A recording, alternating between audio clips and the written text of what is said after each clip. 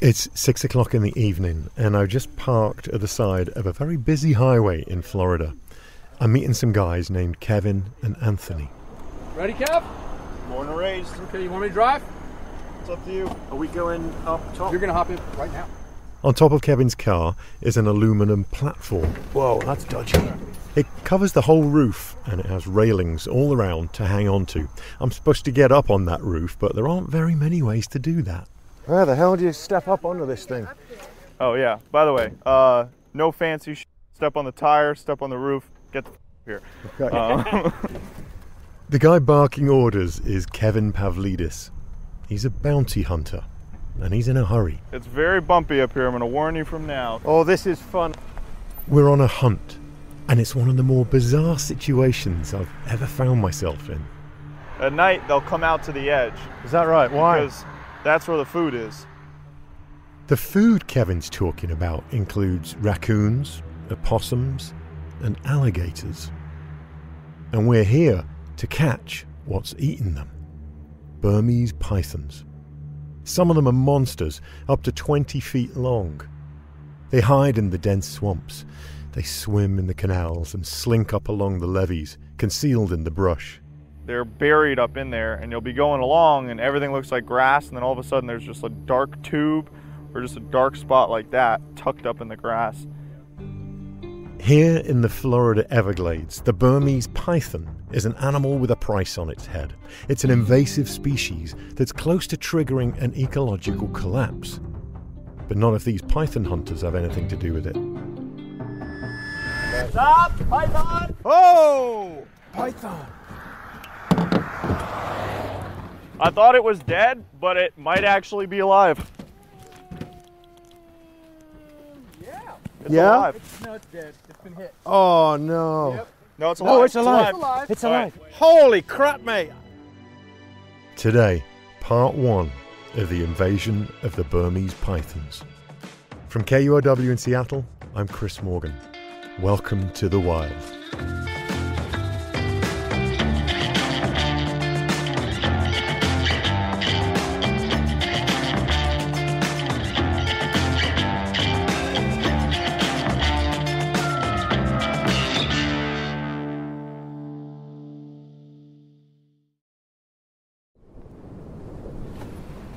We're here uh, in Florida talking about pythons. What do you think about pythons?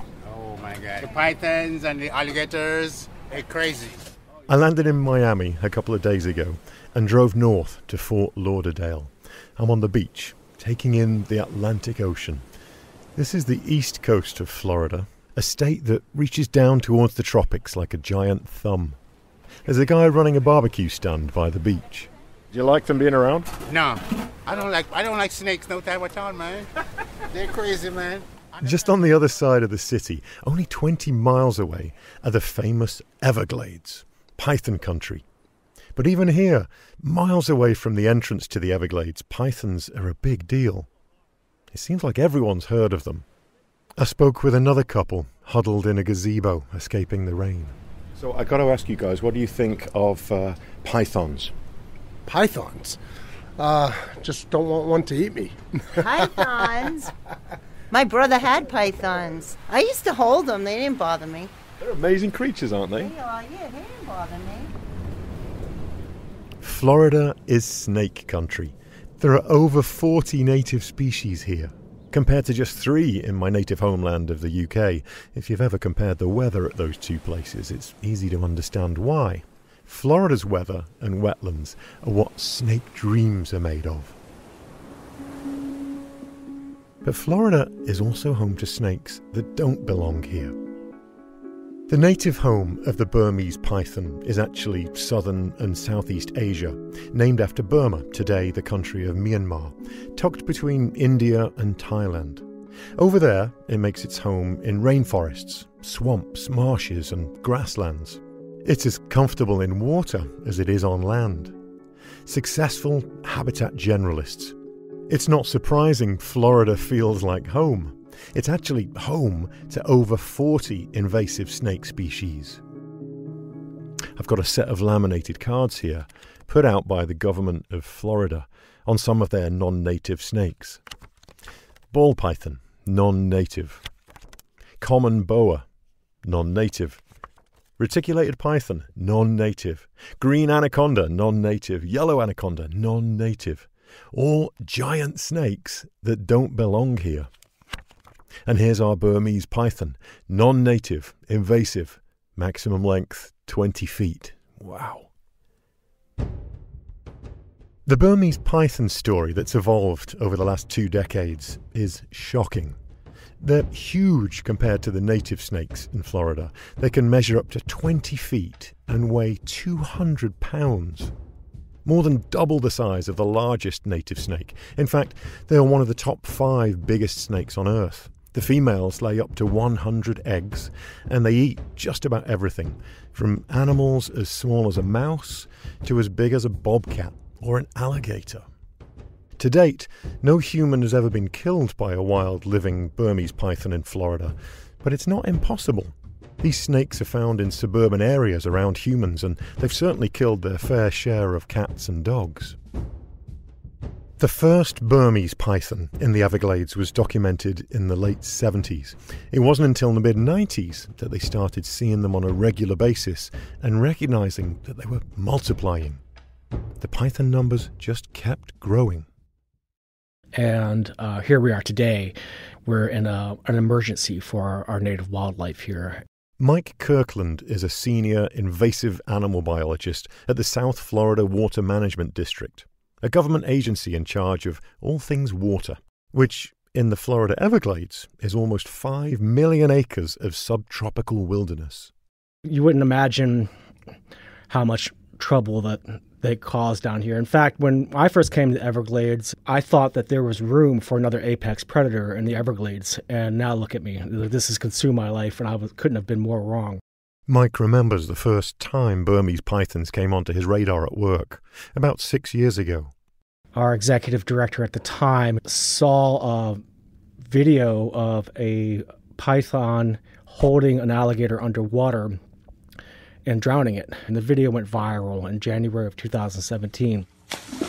It is a battle of life and death, a rarely recorded glimpse at a Burmese python, an unwelcome addition to the Everglades, taking on the native alligator. I can't believe that snake is dominating the alligator like that. This is incredible. I couldn't believe it. And he called our bureau chief upstairs and said, "Hey, we need to do something about this um, this problem. I know just what to do." His idea was to give 25 people unprecedented access to the Everglades bounty hunters. And so our bureau chief came down with these marching orders and um, asked, Who's the snake guy of the group? And and uh, he said, well, I think Kirkland's interested in snakes. And they, they really didn't know. But uh, they, they put me into a, a small conference room and they gave me this idea. You want me to go and be in charge of a bunch of fellow snake catchers in the Everglades? And I thought I might as well have won the lottery. The South Florida Water Management District willing to pay 25 people to help capture the invasive species as part of their pilot python elimination program. At the time, and still today, anyone can kill a python. Some people have practically made it a pastime. But Mike's official team gets paid for it. In addition to an hourly rate, each bounty hunter is paid by the foot. The first four feet of snake is worth $50. Then every additional foot is $25 after that. So a big one can pull in over 400 bucks. And their job is to capture and euthanize as many Burmese pythons as they can. The python elimination program was only supposed to be a three month trial. That was six years ago. It's now expanded to 50 contractors, and Mike's devoted his life to the effort of removing Burmese pythons from the Everglades. I measure time now in um, BPP and APP, before Python program and after. And um, my life will never be the same since I've started doing this. In addition to Mike's 50 contractors, another organization called the Florida Fish and Wildlife Conservation Commission has 50 more. So a total of 100 people given keys to the Everglades. Literally, real keys that open gates to places no one else is allowed to go to catch and kill pythons. So I'm heading to me Anthony and Kevin, two snake hunters. They dropped me a pin, and uh, it is literally right on the edge of civilization where the metropolis ends and snake country begins. Anthony Flanagan and Kevin Pavlidis are two of the most skilled python hunters on Mike's team. Good morning, Hop in your vehicle and follow me to where we're heading. This is Anthony. I follow him a few miles to where he hopes to catch some pythons today. We pull over, and I clamber on top of his high truck platform to start our search. Yeah, so the golden rule when we're moving, hold on. Always hold on. Anthony's 50 years old. He's been hunting pythons for 15 years. He started even before Mike's official program began. And he's caught a grand total of over 900 of these massive invasive snakes. Mike says Anthony is one of his most valued hunters. We call Anthony Flanagan the OG, the original gangster. And he is uh, really a python whisperer. He doesn't have, uh, you know, biology degree uh, like like I do, um, but he has gotten this down to a science. How does that tally with other people, other hunters? Puts him at the very very top. This is a very good location. I've caught over 100 pythons off of this one stretch. This location is classic Everglades. We're on a narrow road, what they call a levee, raised up next to a canal. And as far as I can see, there are vast expanses of marsh and tall sawgrass on either side of us. The area you're going to want to look is where the low grass meets the, the taller sawgrass and stuff right on that edge, kind of like where my hand shadow is down there. Uh, the snakes will actually come out and like hang just a coil out when it's visible. So hold on. All right, Dad. It's a family affair for Anthony. His dad is driving to help him out. We inch forward slowly on idle and start looking for snakes as thick as my thigh. It's a hot day, over 80 degrees and muggy. The sun is beating down. There are flies all around, and every so often we have to avoid poisonous overhanging trees. But we've got our eyes peeled from high up on the platform on top of the truck. See if you see that right there, that indentation in the Yeah. rocks, that little flat spot. Uh huh. That's from a python. Is that right? Yeah, that's from one that's been basking. How can you tell? You could just tell by the way it's matted, like in the little tunnel at the back, where the snake kind of climbed out and coiled and basked. There's, he You was- call them pads. That's where yeah, we call they're- them they're yeah, beds. basking pads or breeding pads. That's a basking pad. That's a huge snake that made that. Oh that no, that's spot. probably That's enough. that- that's eight nine feet maybe. Oh, it's a tiddler. Oh, that's a, yes, it's a, that's a little little tiny thing.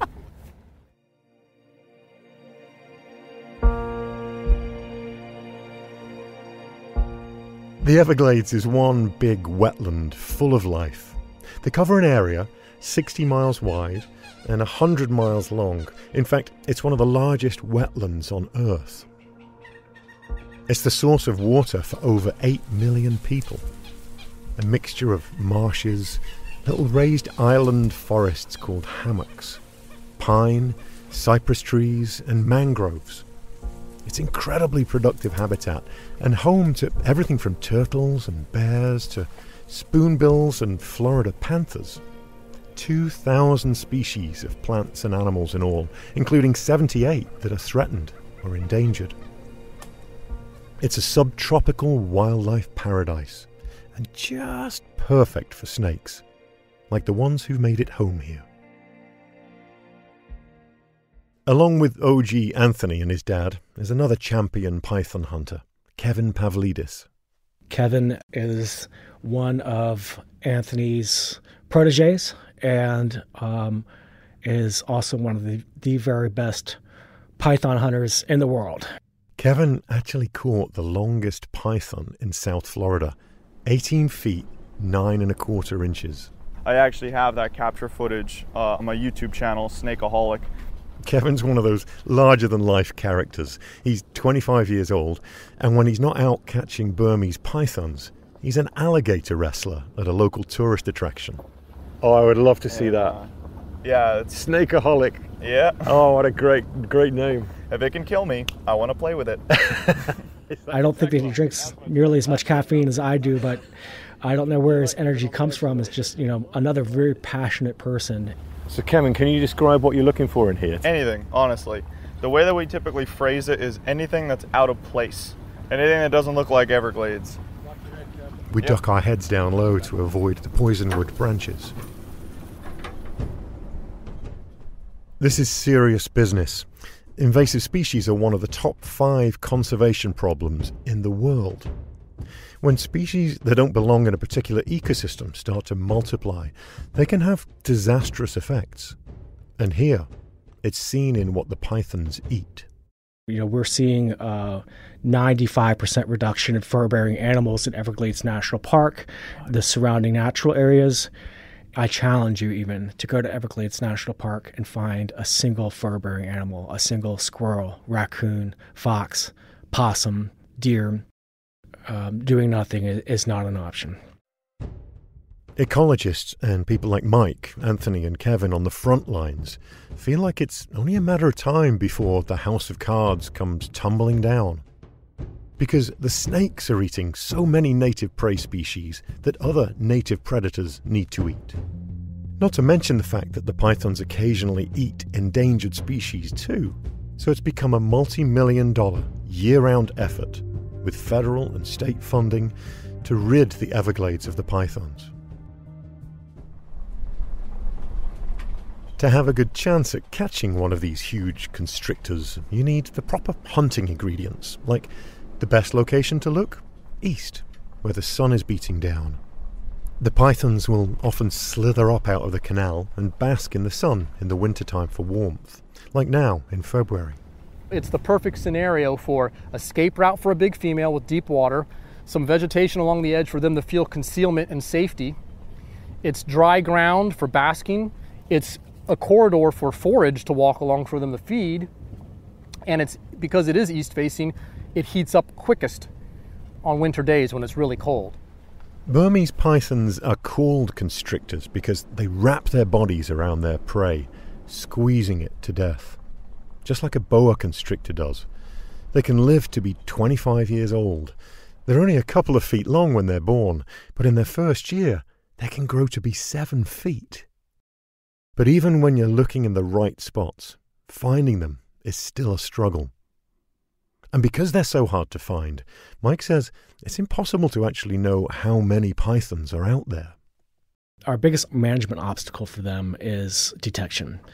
Because they're so hard to detect, they're so cryptic, they're so well camouflaged in the environment, um, coupled with the um, vastness and relative inaccessibility of the Everglades, we can't do a conventional population estimate on the species. You hear numbers thrown out there like 100,000 or a million.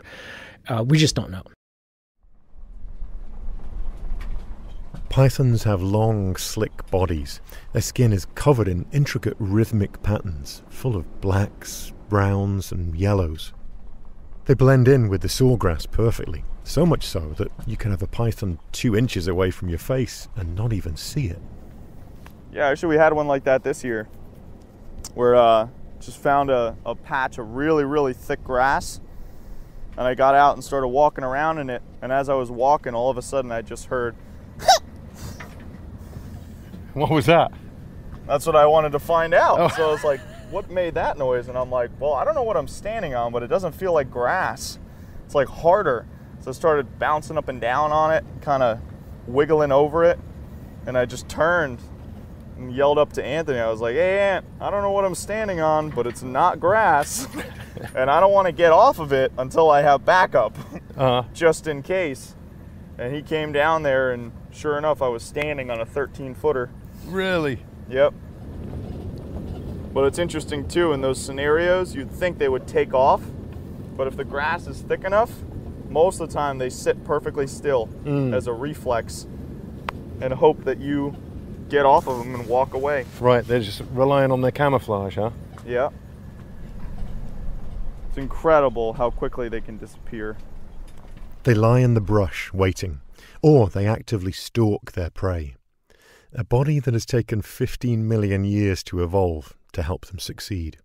The snake feels even the tiniest of vibrations in the ground from a passing target like a bird or a mammal. Then it pinpoints the prey with chemical receptors in its tongue. Sensors along the snake's jaw detect heat, Then, boom, the snake strikes, grabbing its prey with rows of sharp teeth. Two rows on the top, one row on the bottom, a hundred or more of them. But they're not venomous. Once they've grabbed the prey, they use their long body and wrap it around the victim and squeeze. Every time the victim exhales, the python squeezes tighter until the prey is basically suffocated. Then their jaw stretches wide to swallow their meal whole. One of Kevin's techniques for spotting them is to look for a glisten on their skin. Their skin is extremely iridescent, so it gives off a very distinct bluish shimmer shine to it. Hmm. And, um, you know, we're in full sunlight. Sometimes they're absolutely glowing, just beaming in the sun. Even though they are huge and stronger than a wrestler, these snakes depend on their stealth, so camouflage is key. As we drive the levee, eyes peeled, Anthony tells me what happens after they catch their prey. They're very tactile, you know, whatever brushes up against them or gets within striking range, they'll make a grab. Have you ever seen a snake with a hefty lump in the middle of its body? Oh, yes. Yeah? Oh, absolutely. And what was it, do you think? Uh, well, I know from the snakes regurgitating them after I captured them, um, it's been everything from opossums to birds to rats. Uh, Did you say when you caught one it regurgitated? Mhm. Is that is that that's a that's a why do they do natural that? that's a natural defense mechanism. When an animal has just eaten, and especially if it's a very large prey item, Mm-hmm. the snake is vulnerable. It can't move quickly. It, it can't slink through vegetation quickly um, because it has a big lump in its body. Right. So if it gets threatened by imminent danger, it naturally will regurgitate what it has eaten so that it can move quicker and escape. It strikes me how difficult the hunting is. I half expected to be jumping on a snake every 10 minutes from the stories I'd heard. But even with two of the top python hunters in Florida, these snakes are remarkably elusive. After two different locations and six hours of searching, no luck. It turns out that this snake hunting is not as easy as I expected. I think these guys are too good at it. There's no snakes. You've caught them all, Kevin. Working on it. So we make a plan. We're going to regroup tonight. Anthony sends us another location pin. This time, the edge of a busy highway running east to west across the Everglades. We'll meet there. We'll hunt from 5:45 till about maybe 8:45. Perfect. And then we'll call it. After the break, the night hunt.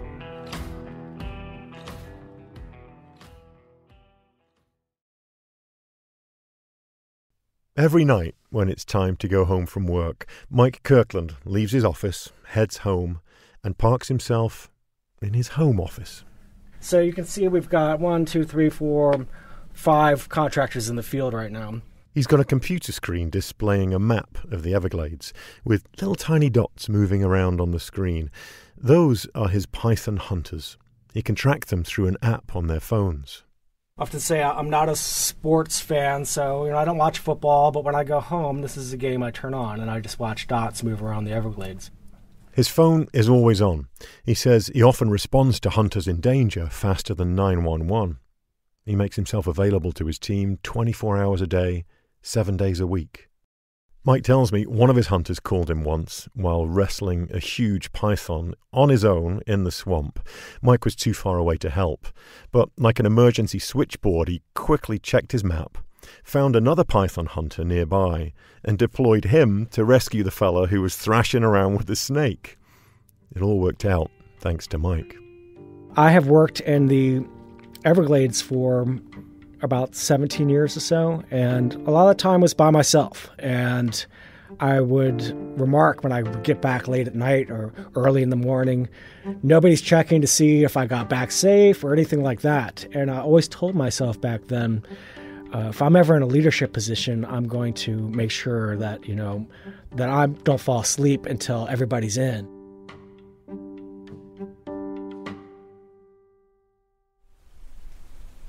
I head back to my rendezvous with hunters Anthony and Kevin. So we weren't able to catch a snake this afternoon with the guys, but we're going back out this evening. It's about 5:30 now. Sunset is about 6:15. So we're hoping that because it's been such a hot day, the snakes weren't out. It was too hot even for a snake today. So now, darkness approaching, we're hoping the snakes will be out and give us another chance to catch one. So that's the dream. We're feeling hopeful. It's dark, and we're on the side of a busy highway, slowly driving the grassy verge. Kevin's got huge lights attached to the railings on the top of his car, pointed straight at the sawgrass along a canal. Anthony's eyes are glued to the ground, but while he's scanning, he shares something with me that I wasn't expecting. He tells me he has cancer. He says he had a chemotherapy session just yesterday. It's why his dad was out driving for him today. They gave me two to three years to live with the cancer, so we'll see how that works. It's been Really? seven months. Oh my goodness, I'm sorry. Yeah. Well, you're not doing what you love for as long as you possibly can by the looks of things, huh? Yeah, you know, it's a little combination of that and trying to pay the bills. With no other form of income, Anthony says he's out here a lot more than some other hunters. It's also what's made him so good at this. I really have to get out here even on unideal days and and try.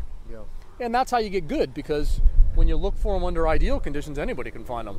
But we, what do you do if it's raining? What do you do if it, if it is a cold front coming through? All these kind of things you have to learn. After another hour of scanning the edge, Stop! Python! Oh! Python! I thought it was dead, but it might actually be alive. I can hardly believe it. There it is, a huge python coiled up on the side of the road. Oh, it's alive. It's alive. It's alive. It's alive. I jump off the truck. Kevin tells me to be fast before she has a chance to disappear or strike, You're gonna have to grab it right behind the head. and to grab her behind her head so she can't twist and bite me. So I dive in, Don't let go, don't let go. Okay, I got it. I got it. grab the snake. Holy smoke! Look at that wrapping around me already. My heart's pounding, and as I lift her up, she starts to react. She's going a little crazy now. That's unbelievable. She's looking for something to wrap around. Look at that. She had my leg and my uh, my wrist earlier on. She's getting really, really. That is unbelievable just to feel the strength in her body as she's raising up off the ground like that. She's over 10 feet long. I guess she weighs over 30 pounds. Can I stand up with her? Yeah, absolutely. Oh, she is heavy. Oh my goodness. As I hoist her up, I notice something in the middle of her body. A big lump, like the size and shape of an American football. We find out later that the bulge in her stomach is an opossum. I can kind of hear that hollow sound of her belly when I tap it gently. That's the that's the creature inside. A native species that's important food for so many creatures in the Everglades. She had swallowed the opossum whole and was digesting it when we found her coiled up on the ground. Oh, I could feel her digestion going in there. She's got like air pockets down through her belly. This was actually eaten during the day today. And that's why the snake was out, is because the snake was actually trying to catch some of that evening sunshine, that afternoon sunshine, to heat up to help digest this big prey item that's in here. Normally, you It's a strange moment. My adrenaline is still pumping. I can't believe I'm holding such a magnificent creature. A muscular body squeezing my arm so tight, it's about to cut off the circulation. She's like some mythical serpent in my hands, powerful beyond belief. But it's also her last day of life. It's not her fault she ended up here. But then Kevin reminds me of the bigger picture. This is the last animal that he is going to eat from our Everglades ecosystem, and that's what it's all about, man. It's just protecting But those how, native animals. but how does it make you feel on the other side of things as somebody who loves snakes? You're looking at this creature, it's just exquisite in every way, isn't it? It is Yeah. a feat of evolution, this thing, looking at it. It's always bittersweet because I've loved Burmese python since I was a child, and you really have to choose because if you leave them alone, the native animals die. Right. If you remove them, you have to kill the invasives. Right. But there's no solution where nothing dies. It was amazing to hold her there, feel the weight of her in my arms. But you can't help but think about what's going to happen next. The end of her life. But another threat to the Everglades removed. We carefully place her in a bag. And the last thing you're going to let go of is the head and just plop it in there. And we're going to tie this up nice and tight. Now we're gonna grab that second bag. Hold that open for me. Okay, the second That all to the bottom. Bag goes in the lockbox, so we're full legal and in compliance with all of our permits and everything.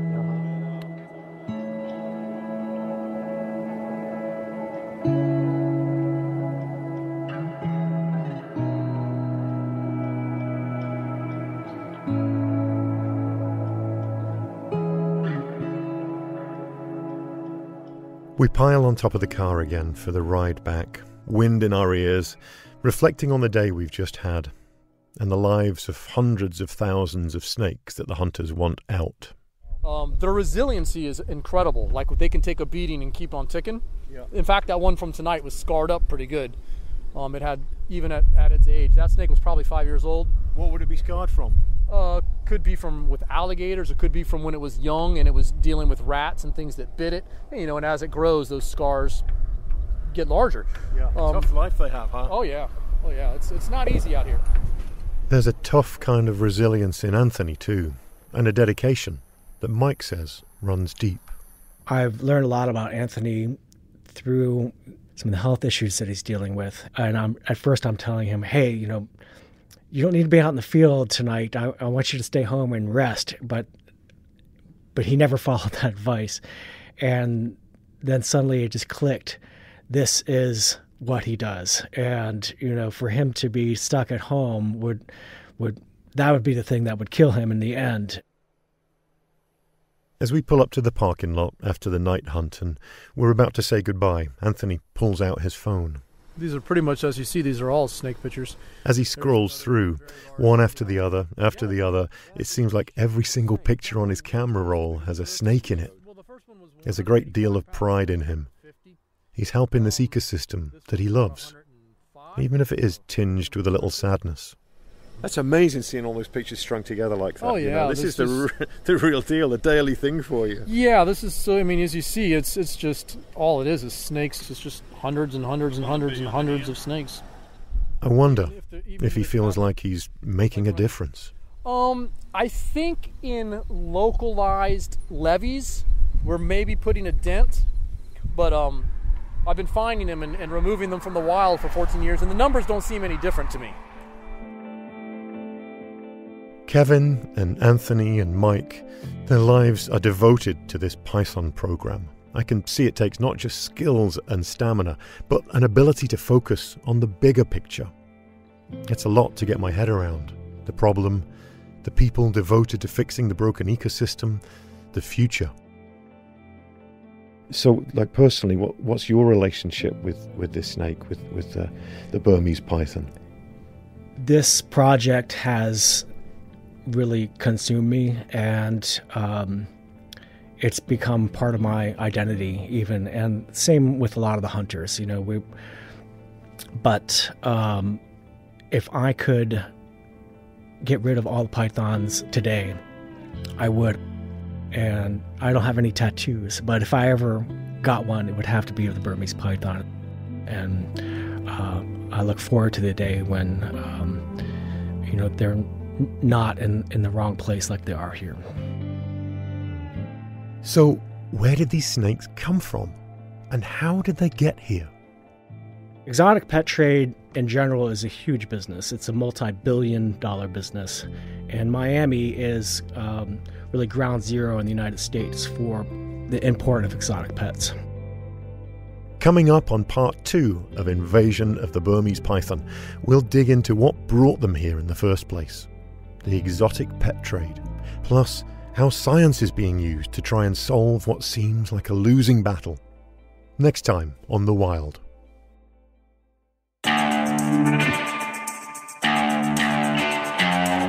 If you want to see that incredible 10 foot Burmese python we captured, we've made a short behind the scenes film to share with you, produced by Paul Bikis. There's a link in our show notes. And as always, there are some pretty eye opening photographs and clips on Instagram at The Wild Pod and mine at Chris Morgan Wildlife. Special thanks to Travis Scott. The wild is inspired not just by nature, but by the people who work in it, love it, protect it. The Wild is a production of KUOW in Seattle and me, Chris Morgan, with support from Wildlife Media. Our producers are Lucy Soucek and Matt Martin. Jim Gates is our editor. A very special thank you for their kind financial support to Jill and Scott Walker, Rose Letwin, Alan Ferguson, Anna Kimball, John Taylor, Paul Lister, Mark Wilkins and Rebecca Badger, Bob Yellerlees, Barbara Stolman, and Annie Mize. Our production team includes Paul Bikis, Juan Pablo Chiquiza, April Craig, Michaela Janotti Boyle, Tatiana Latre, Cara McDermott, Darcy Riggin Schmidt, and Brendan Sweeney. Our theme music is by Michael Parker. I'm Chris Morgan. If you enjoy The Wild, please spread the word. We tell these stories to reach and inspire as many people as possible. Thanks so much for listening.